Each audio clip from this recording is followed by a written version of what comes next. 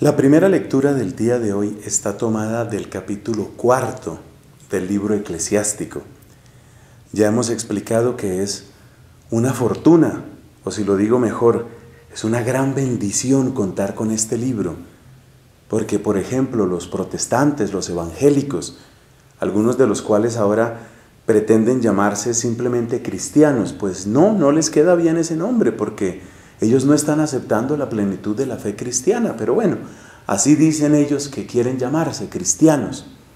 Entonces, ellos no tienen estos libros, no tienen, por ejemplo, los libros de los macabeos, no tienen este libro eclesiástico, no tienen algunas partes del libro de Daniel, del libro de Esther, son algunas de las obras de las que ellos carecen.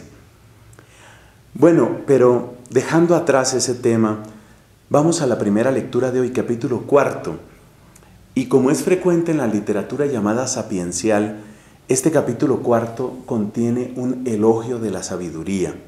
Creo que es una buena oportunidad para recordar lo que se entiende por sabiduría dentro del conjunto de la revelación cristiana. No es simplemente acumulación de conocimiento.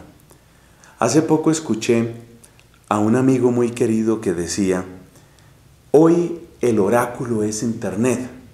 Y con esa expresión este hombre quería decir que en Internet están todas las respuestas. Él decía, hay épocas, hubo una época en que los niños pequeños le preguntaban, por ejemplo, al abuelito, que era el sabio de la casa, le preguntaban, abuelito, ¿qué quiere decir tal, palabra? ¿Dónde queda este lugar? ¿Cómo se hace esto? El abuelito era el, el gran consejero, era el manantial de sabiduría y decía él, el abuelito ya quedó superado porque ahora las respuestas las tiene Internet.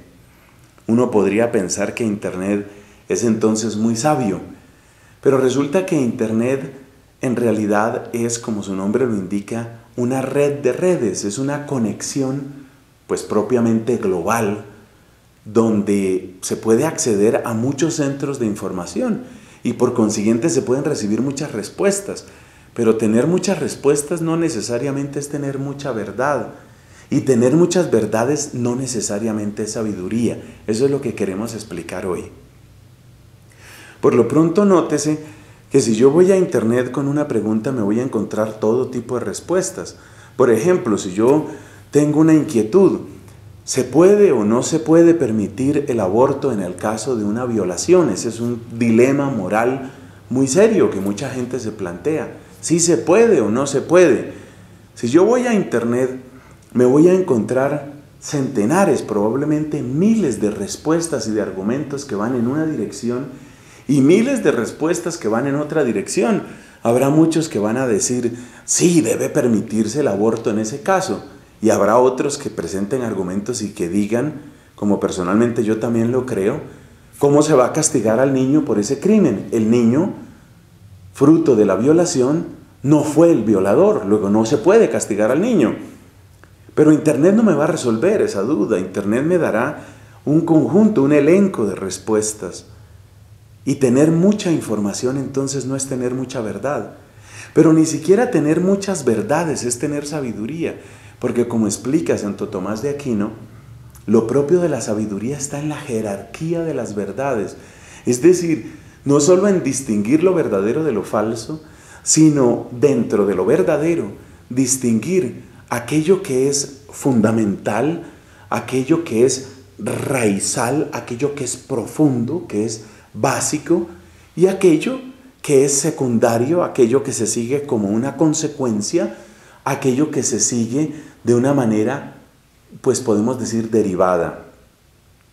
Entonces la verdadera sabiduría, según Santo Tomás y según la Biblia, no es acumulación de información, es más bien un gusto, es un saborear la verdad hasta buscarla en sus raíces más profundas, hasta buscarla en las causas más hondas y hasta encontrarla finalmente en Dios.